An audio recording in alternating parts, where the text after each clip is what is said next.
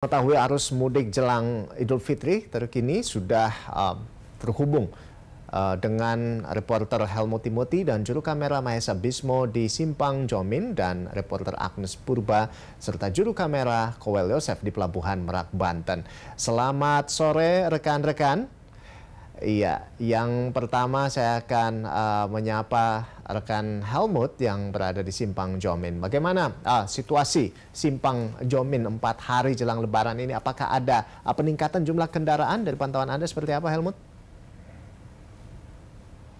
Halo selamat sore Rolando Sabuaga dan juga Stefani Ginting. Kalau kami dapat melaporkan tempat tempat saya berdiri saat ini yakni di Simpang Jomin Karawang Jawa Barat ini memang terpantau ramai lancar, tidak ada ketersendatan baik dari arah Jakarta menuju arah Cirebon Jawa Tengah dan juga dari Jakarta menuju Purwakarta begitu pula dengan sebaliknya.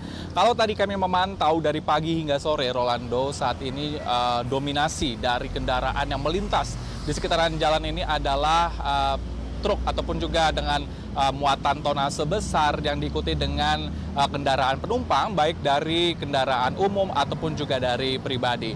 Sebagaimana diketahui memang nantinya akan uh, puncak prediksi puncak arus mudik lebaran 2023 akan jatuh pada esok hingga sampai dengan 21 April 2023. Maka dari itu Polres Karawang Jawa Barat ini telah menyiagakan sebanyak empat posko pengamanan dan juga pemantauan, yakni di antaranya ada pos pam Jomin, kemudian ada pos pam Sasak Gembreng, kemudian ada pos pam pertigaan Cikalong, kemudian ada pos pam Gamon. Uh, pos pam Gamon ini adalah pos pam perbatasan Subang dan Karawang. Dan uh, keempat posko ini diperuntukkan untuk mengurai adanya kemacetan nantinya akan uh, diprediksi pada esok sampai dengan 21 April dan juga adanya mencegah uh, kecelakaan lalu lintas yang mungkin kerap terjadi uh, saat mudik lebaran 2023. Selain itu dari Polres uh, Karawang ini juga uh, menyiagakan di jalur alternatif dan pihak Polres Karawang ini um, menghimbau kepada warga untuk berhati-hati dikarenakan ini ada prediksi kemacetan yakni di antaranya dari Tanjung Pura ini menuju flyover Lamaran atas dan bawah, kemudian ada pasar Telaga Sari, ada pasar Wadas, kemudian Karasak dan Cikalong.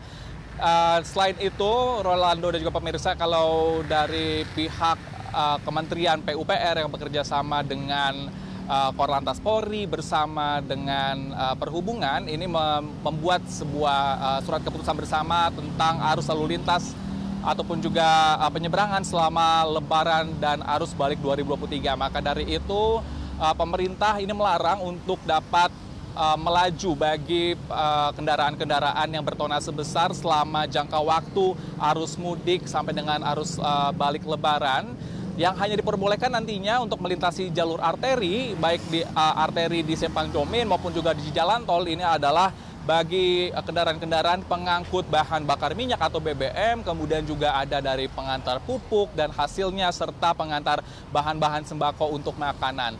Maka dari itu uh, kami menghimbau kepada Anda pemirsa untuk uh, tetap berhati-hati selama mudik dan juga tetap uh, berwaspada selama di jalan dan mengecek kendaraan bermotor Anda. Rolando.